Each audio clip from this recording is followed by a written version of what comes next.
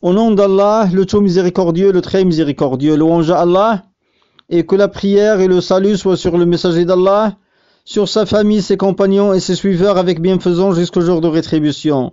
Ceci dit, ceci est un conseil et une nasiha de l'imam Abdul Aziz bin Baz, qu'Allah Ta'ala lui fasse miséricorde.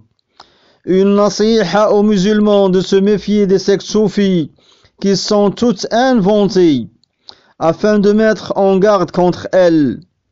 Il dit, rahimahullah, parmi les choses inventées par les hommes, sans observer les règles de la législation apportées par le messager, que la prière et le salut soient sur lui, il y a les voies soufis qu'ils ont forgées en religion et sur lesquelles Allah n'a fait descendre aucun pouvoir, comme Al-Rifa'iyya, Al-Naqshbandiyya, Al-Tijaniya, Al-Maraniya et les sectes semblables.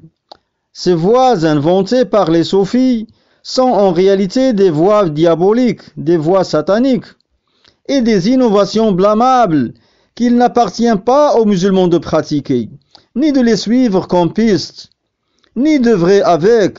C'est plutôt qu'il est obligatoire de les combattre et de prendre garde à leur égard, puisqu'Allah a légiféré pour nous une religion droite, parfaite, qui n'a absolument besoin de personne pour la parfaire.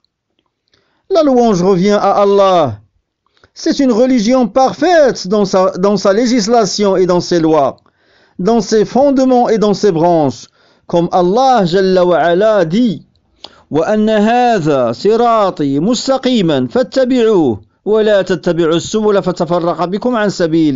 Traduction rapprochée du sens du verset. Voici mon chemin dans toute sa rectitude. Suivez-le donc, et ne suivez pas les sentiers qui vous en écartent de sa voie. La sourate Al-An'am, les bestiaux, une partie du verset 153. Le cheikh, rahimahullah, poursuit les sentiers dont il s'agit dans le verset. Les sentiers sont les innovations et les tentations. Shubuhat. Quant à la voix d'Allah, c'est sa religion qu'il avait légiférée pour ses serviteurs. Et c'est l'unicité d'Allah Jalla de lui obéir et d'obéir à son messager, que la prière et le salut soient sur lui, dans ce qu'il ordonne et dans ce qu'il interdit. Voici la voie d'Allah, et voici le chemin d'Allah, et, c'est la religion d'Allah.